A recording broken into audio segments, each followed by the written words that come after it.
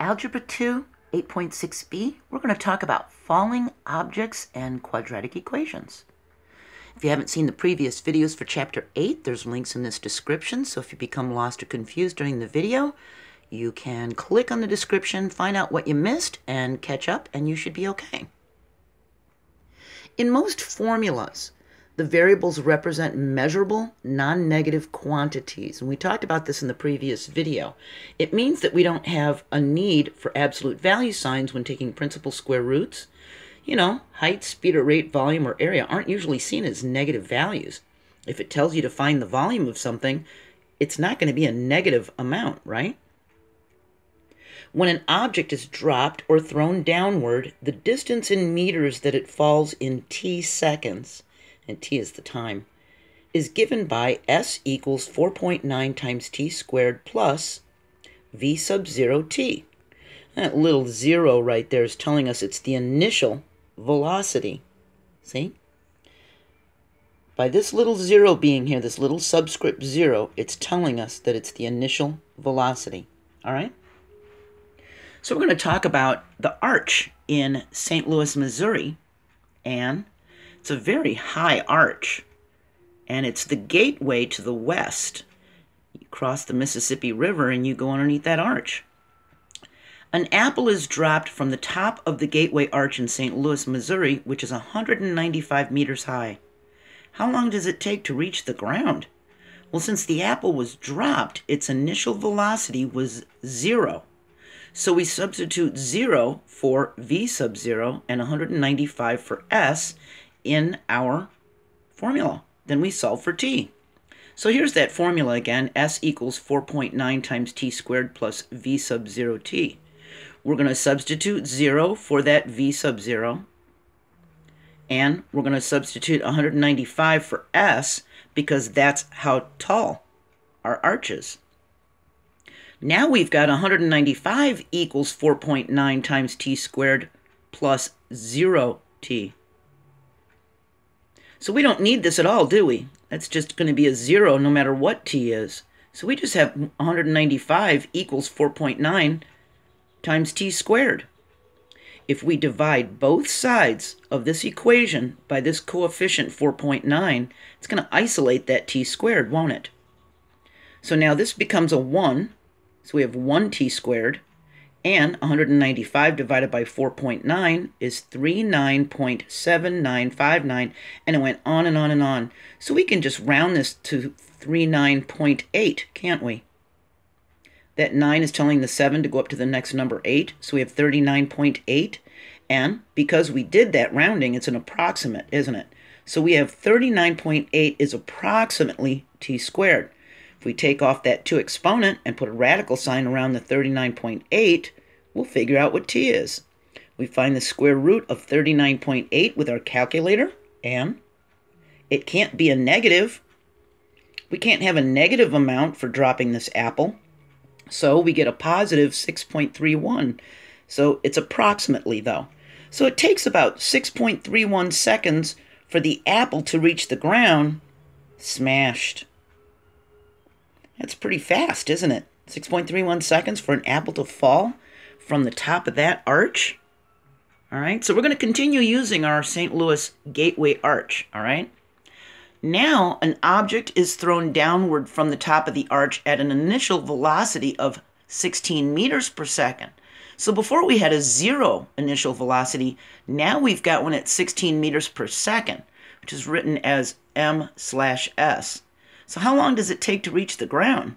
So our formula was S equals 4.9 times t squared plus V sub 0 t. Now we're going to put 195, because that's the height of the arch, equals 4.9 times t squared plus 16t. We can subtract 195 from each side, or you could say we're adding a negative 195 to each side, because we want to set it as a quadratic equation. Now that creates a 0 here, which I'm going to put back here instead. And we have 4.9 times t squared plus 16 times t equals, I mean, uh, minus 195 equals 0. So now it's in this quadratic form of an equation, that standard form. Now we can take these values and substitute them into the quadratic formula. So that's A, that's B, and that's our constant C. So A is going to come down here. This 4.9 is going to be multiplied by the 2, isn't it? And B is our 16. So we're going to have the inverse of B, which is a negative 16, plus or minus. The square root of B squared would be 16 squared minus 4 times A, which is our 4.9 again, times this C value, this negative 195. Now we have to do is do the math. And 16 times 16 is 256. And if we multiply a negative 4 times a 4.9 and then multiply it by a negative 195, we get a positive, because of the negative and the negative, a positive 3,822. We add these two together underneath the radical sign, and we get 4,078. Now, we don't use the negative. There could be something, a negative number times a negative number that would make a positive 4,078, right? But we're not going to use that because we're dealing in measurements and it's not going to be a negative measurement. So we just need the positive number. So we use our calculator to find the square root of 4078 and it's 63.86 approximately. We have negative 16 plus 63.86 which gives us approximately 47.86 and when we multiplied this 2 times the 4.9 we got the 9.8 didn't we? Now what we have to do is take this 47.86 and divide it by the 9.8. We get about 4.88 seconds for it to hit the ground. So the apple was 6.31 seconds, wasn't it? And it was just released, it was just dropped. So there was no force on it dropping from us. It just was let go and it was gravity bringing it down.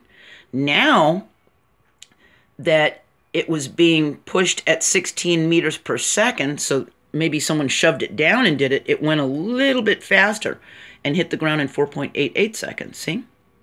Let's try this one. How far will an object fall in three seconds if it is thrown downward from the top of the arch at an initial velocity of 16 meters per second? So now it's asking how far it's going to fall. Now we're looking for the meters. We know it's 3 seconds. We know it's 16 meters per second.